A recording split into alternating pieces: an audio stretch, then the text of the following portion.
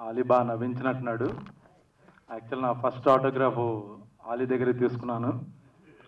First time Chennai వెళ్ళినప్పుడు ఆయన busy షూటింగ్లో ఉంటే ఆయన దగ్గరికి వెళ్ళి ఆంధ్ర నుంచి వచ్చానండి. ఆటోగ్రాఫ్ ఇవ్వమనంటే పాపం ఆయన. ఆటోగ్రాఫ్ కూడా ఇచ్చి ఆశీర్వదించారు. ఆయన వల్ల ఈరోజు ఇలా నుంచి మాట్లాడుతున్నాను. ఇక రాజుగారి గది త్రీ నాకు పెద్ద హారర్ సినిమాలు ఎక్కువ చేయలేదు నేను. మేబీ uh, రెండో సినిమా అనుకుంటా. ఈ సినిమా చూసి భయంతోనే చచ్చిపోతారు లేకపోతే నవ్వుతూ నవ్వుతూ చచ్చిపోతారు. రెండు ఎలిమెంట్స్ ఉన్నాయి. సో నవ్వించడానికి నాకు ఫస్ట్ హాఫ్లో నాలుగైదు సీన్లు ఓంకర్ గారు ఇచ్చారు. మా చోటా కనేడికి ఆయన మీద కంప్లైంట్ చేయాలనుకుంటున్నాను. జనరల్గా సినిమాకి పర్ డే రెమ్యునరేషన్ తీసుకుంటాం. బట్ రూల్ పెట్టుకున్నాను చోట ఉన్నాడంటే బల్క్గా మాట్లాడదామని. ఎందుకంటే జనరల్గా సినిమా పన్నెండు డేస్ ట్వెల్వ్ డేస్ ఇచ్చారనుకోండి ఆ సినిమా చోటకైనా నాయుడు అయితే ఆరు రోజులుగా అయిపోద్ది మాకు. మాకు తెలియకుండానే మొత్తం సినిమా అంతా తీసేస్తారు వాళ్ళు. దానికి తోడు ఓంకార్. సిక్స్ ఫార్టీ ఫైవ్కి నాలుగు ఫోన్లు వస్తాయి తాండవ్ గారు. అయ్యా రెడీ అయ్యారా? బయలుదేరారా? వచ్చారా? బట్టలు వేసుకున్నారా? రెడీ సార్ అంటారు.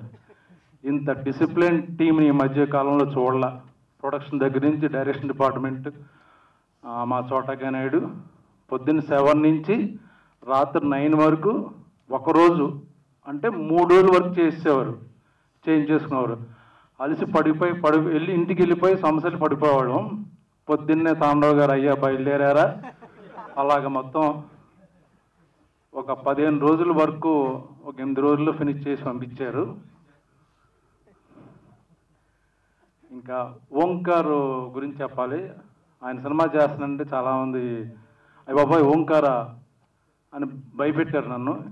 ఎందుకంటే చాలా స్ట్రిక్ట్ అతను ఏమనుకుంటాడు డైలాగ్ ఎలా రాసుకుంటాడో మాడ్యులేషన్ ఎలా ఉండాలో అలాగే చెప్పాలి అని చాలా బెదరగొట్టారు. వాళ్ళు చెప్పింది కరెక్టే నిజమే. ఆయన ఏమనుకుంటే అదే చేయించేవారు. బట్ నాకు అప్పుడప్పుడు వదిలేశారని అనుకునేవాడిని. బట్ మూడో టేక్ నాలుగో టేక్ ఆయన ఏం కావాలనుకున్నా అదే చేయించుకునేవాడు. నవ్వుతూ బట్ ఇంత కమిట్మెంట్ డిసిప్లిన్ ఉన్న డైరెక్టర్ నేను చూడలేదు. ఎప్పుడు అంటే ఓంకార్ గారి గురించి ఏదో నేను టీవీలో చూడడం తప్పించి పెద్ద పరిచయం లేదు. చాలా రెస్పెక్ట్ ఇచ్చి మంచి వర్క్ అందరితో చాలా బాగా చేయించుకున్నారు.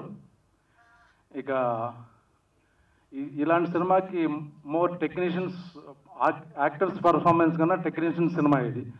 ఇట్స్ బ్యాక్గ్రౌండ్ స్కోర్ కానీ ఎడిటింగ్ గౌతమ్ రాజు గారు కానీ అండ్ మా ఫేవరెట్ రైటర్ ఆయన డైలాగ్స్ కానీ ఇంత మంచి టెక్నీషియన్స్ ఇలాంటి సినిమా చేయడం అంటే ఆ సినిమాకి నిజంగా అదృష్టం.